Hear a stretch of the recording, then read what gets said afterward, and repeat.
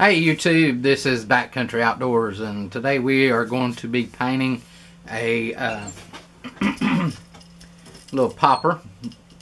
And what we're going to do with this little popper is we're going to use some stencils that people usually don't think of. And we've got a dryer sheet right here that's uh, in our little cross stitch ring. It's the smallest ring I have and I just take and I cut that excess out.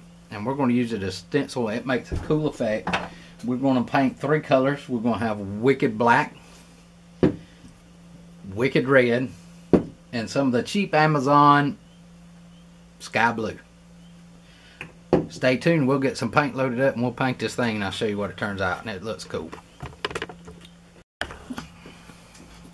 Alright, so the first color we're going to be using today will be the Wicked Black. We're going to coat this thing, we're going to prime him in a black color and we are using the gallery airbrush.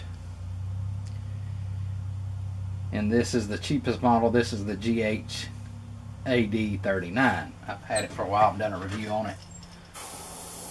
And it does pretty good. If you watch the review at first I had some trouble out of this airbrush until I cleaned it. Once I cleaned it, it not a bad painting little airbrush if you're looking for something.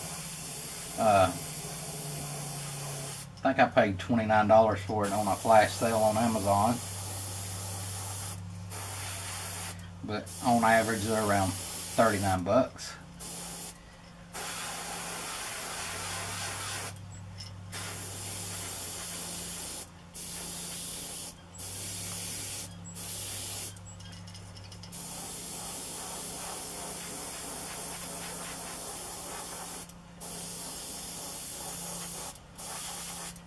But as you can see, she sprays pretty good once we got it cleaned up.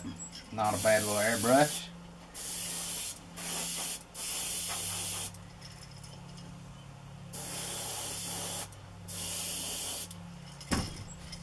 Alright, we got her coated in our black and we'll get the next color loaded up and we'll get back to you.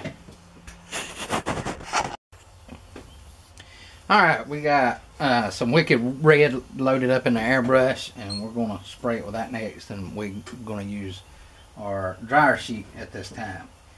And people ask me about stencils. I will try to use anything as a stencil as long as it's got some kind of perforation in it, holes or something. I will try to make a stencil out of it.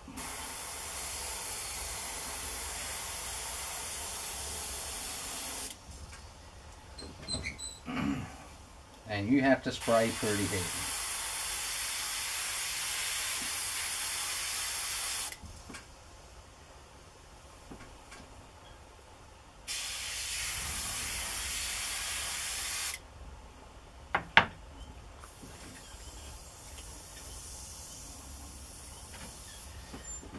dry just a little bit.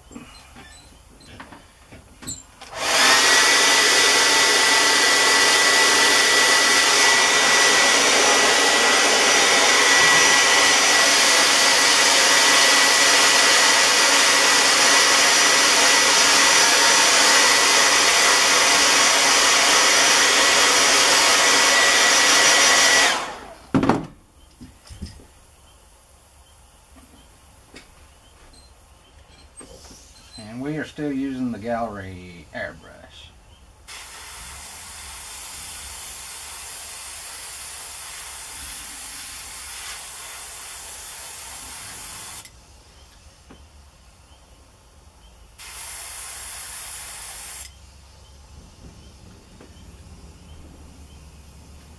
I'm going to try to get this clean spot right across the back right here.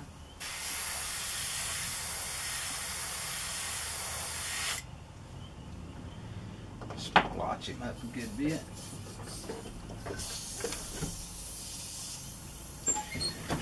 Then we're going to dry him up some.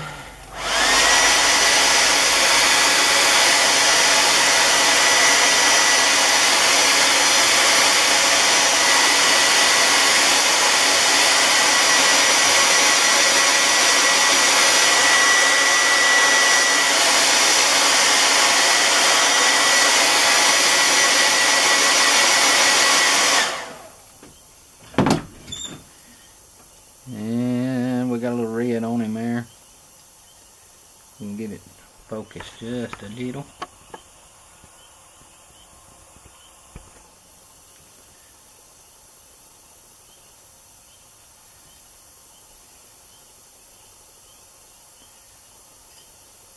He'll really pop out when we get him into KBS too. That red will really pop.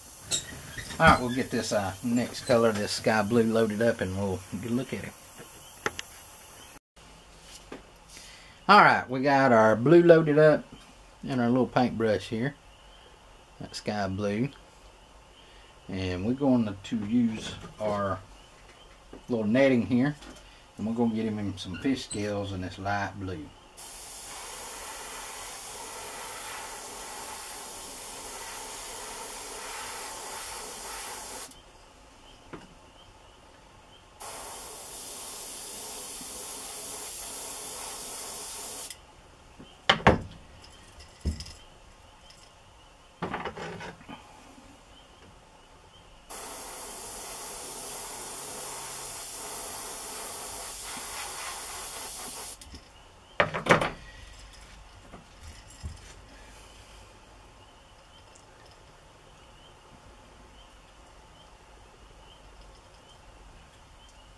Alright, we'll get him dipped in the KBS and we'll show you what he turns out like.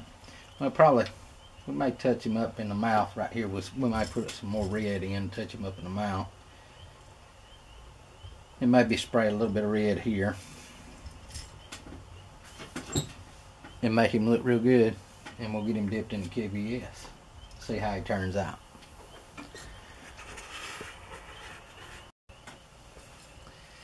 Alright, we got some eyeballs put on him here. And we are fixing to get him dipped.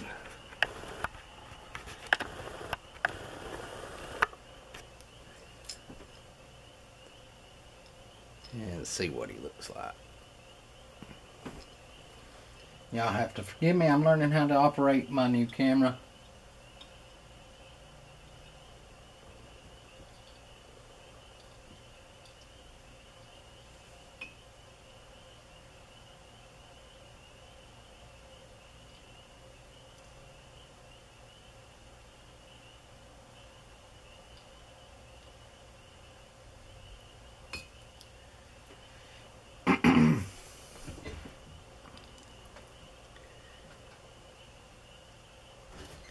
See if I can get it to focus a little better and give it a background.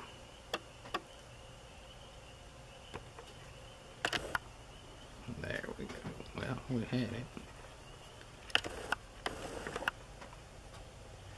There we go.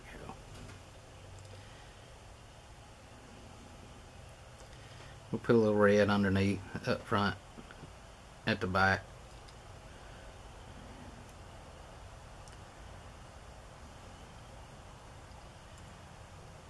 And I will get you a good picture of it. Once it dries out. But you can see like right here you can really see the red coming through. We decided to go with red eyes. And this camera just don't pick up all the colors that great because I'm wearing red. But that red is really shining through that thing especially right around the gill plates right here at the back. It turned out just what I thought it would. It turned out beautiful. Uh, you can buy use anything for stencils. As long as it's got a hole in it you can use it.